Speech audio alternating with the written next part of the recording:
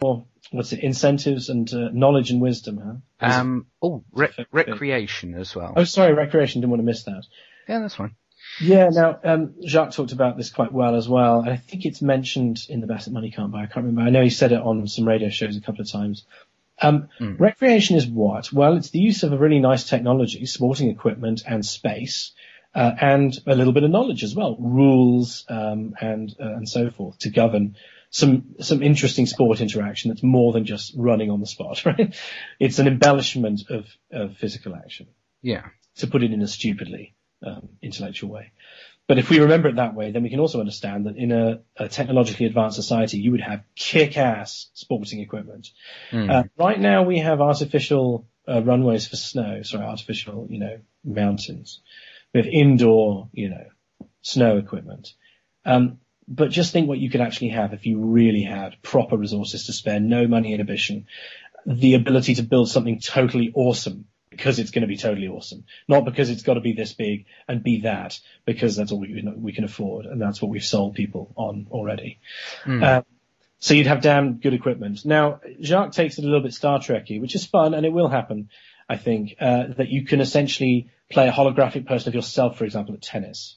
Yeah. Uh, that you could mirror back your abilities in some sort of mash-up way, right? Some kind of collage that's governed by what you're doing now, and it sort of you know fights back at you. Can you beat yourself?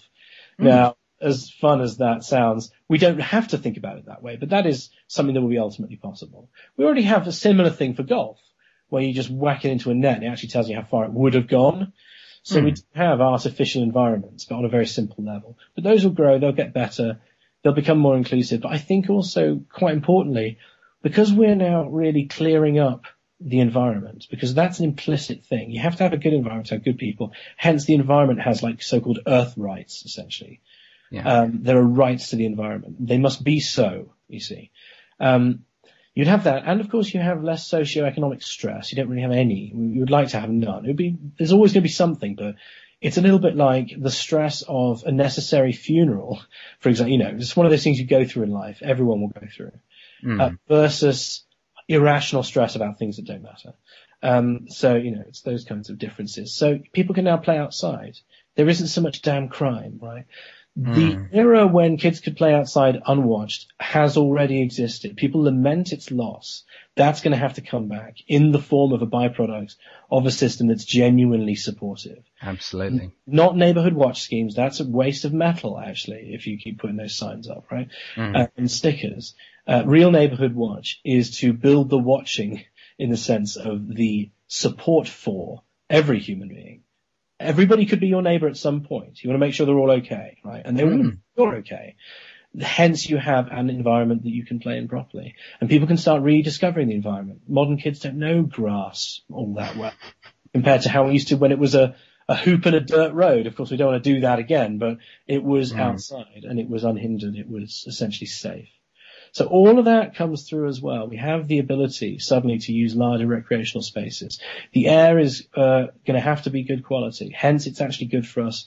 We don't uh, all start developing cancers later on in our lives based mm. on continuous exposure to the negative physical effects of everything that we've got surrounding us. So all of that comes in as well. So yeah, fitter, healthier, more productive, and all the rest of it. Mm. Yeah, to quote. Yeah. yeah. Yeah, I mean, I guess this us does lead us on to uh, to the next thing. I, you know, in my experience, it's definitely a big uh, topic that the the vast majority of the time I always encounter this one is um is the issue of incentives. Like yeah. you know, people people ask me, but what would you do? What would I do in in a in a resource based economy? I I wouldn't want to sit around all day playing video games. Yeah, absolutely. What motivates people? Mm. Um, it's very interesting, isn't it? Um, everything. I was thinking about this the other day, just because I'm preparing something for um, for Monday uh, down in London. Um, you know, everything that we do in society, every interaction, is in order to get money, so that we can have been paid in arrears, so that we can then support ourselves. In other words, everything we do begins with, well, we'll pay you once it's done, with a few exceptions. There are exceptions to that.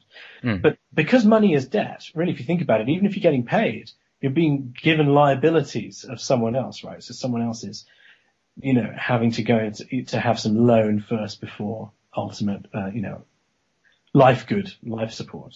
Mm. Um, so we do tend to think, well, I wouldn't do anything for free because we know that we do almost everything um, in arrears before we even get paid. There's a real resentment at the heart of this. Yeah. And it's an, it's a just resentment. That's the thing. We often say, you know, you know, don't be too negative and all the rest of it. And, you know, don't lash out at the, you know, the people in the system. But you can, you can essentially, essentially see how people do feel like they've been exploited and how that exploitation puts their guard up to entertaining the notion of doing something without reward. Not seeing that if you didn't need the reward in the sense of having everything that the reward usually allows you to buy, right? Mm. If you had that sorted already, don't you see that your your attitude would be completely different? You would be like, well, you know, I don't feel so damn exploited.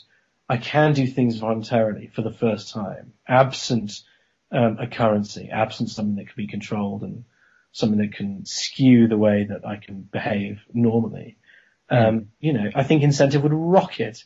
Um, I mean, there's the, the, the, facile points that we've made before that people like Nikola Tesla and, you know, Albert Einstein and all these people, they didn't do it for the money. Um, no. And, you know, their discoveries of what? We can probably name about 20 people, probably less, who have changed everything. I mean, Tesla alone is, you know, it's pretty much electricity, you know? pretty much. The way that it's available, it's completely him. Uh, you know, obviously there are people before him. We talk about that too. Knowledge is cumulative. And we are hoping that we inherit the common goods of it. And that happens to some extent.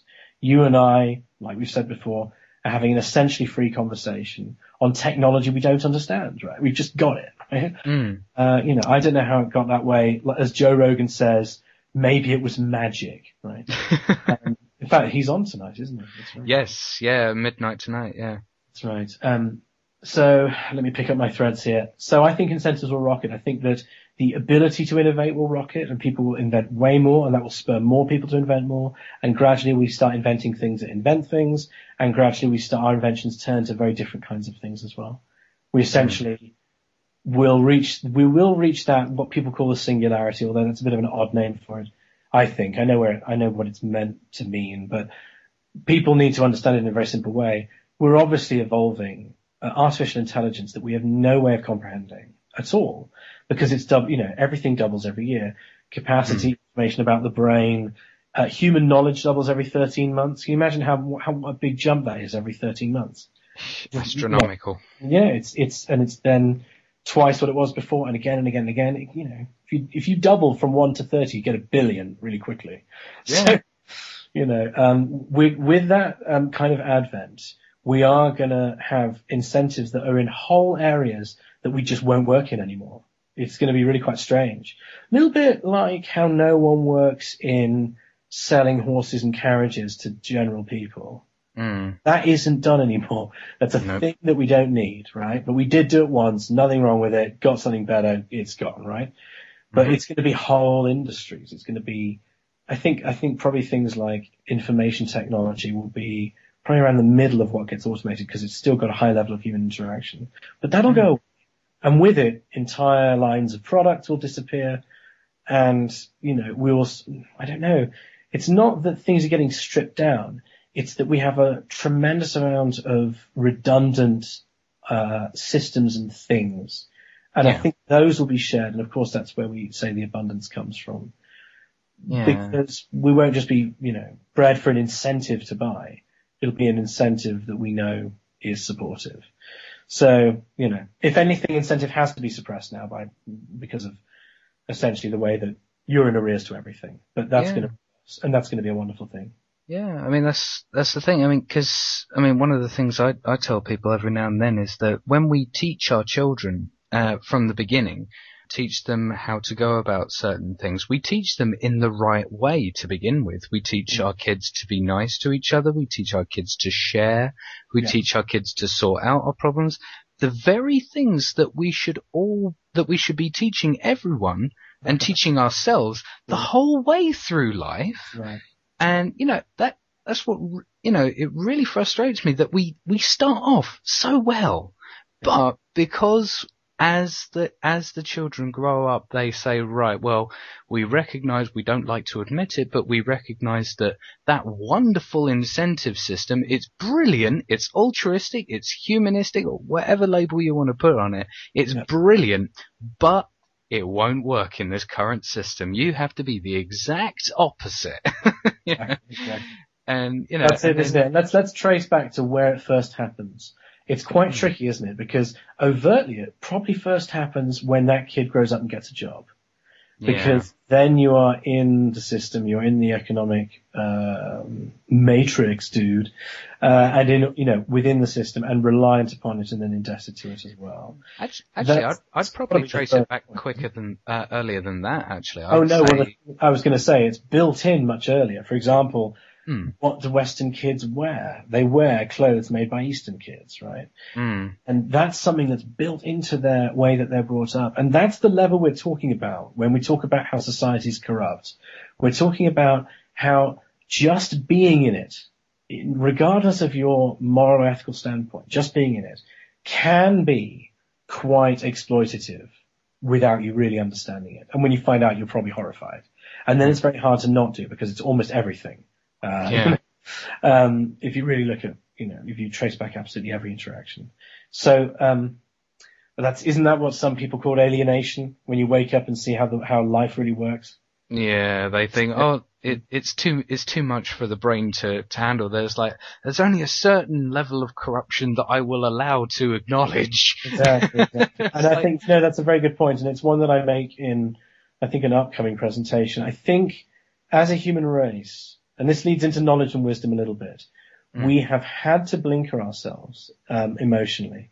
We've forgotten how to feel because in feeling in a really a rational and appropriate way about a billion people starving on the planet is going to send you insane if you really felt what that is. Mm. It's so serious and we can't deal with it. So it's, we, we understand it's awful and we go, oh god, that's terrible. And then we have to think about something else and we have to operate. Because mm. if we really did entertain that knowledge the way that it needs to be entertained, you would have huge changes overnight.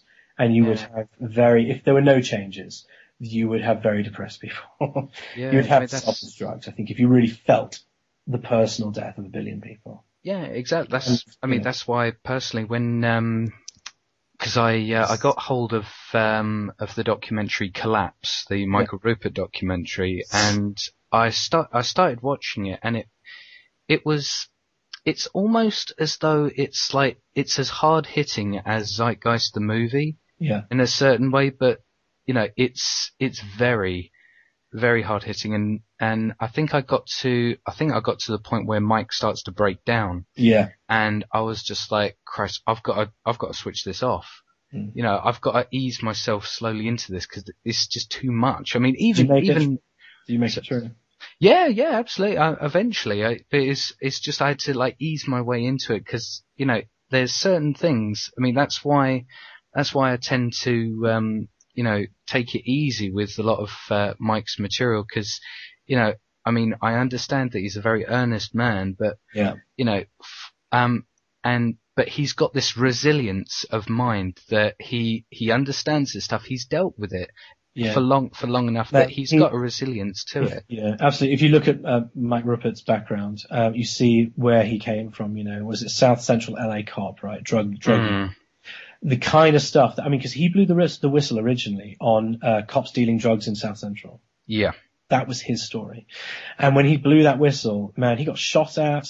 He got, you know, disowned from, you know, or disavowed from the entire organization. Mm-hmm. And uh, he then blew the whistle on, on live TV, didn't he? That man has seen things that, um, you know, would make us, you know, probably go mad. You'd have um, to. And what's amazing is you know, it's a little bit like what you were saying. What's so amazing is when you watch Collapse, you go, man, he's been doing this for like, what is it, 20 years, 25? And he has known where to look because of where he started work. You know, he knows how to judge a system, where to find the data, how to interpret it, to, you know, judge it correctly or not. Um, but what's so amazing is that after all that time, he hasn't forgotten how to feel. He mm-hmm. is emotionally touched by this. He hasn't got used to it. And that I think is a good sign. you know, Absolutely. I think that's a commendable sign actually. I wrote to him and told him that. He never replied because he's too busy with real stuff. But I said, look, I, I thought it was, uh, I thought it was noteworthy that you still feel this stuff personally and that it's not just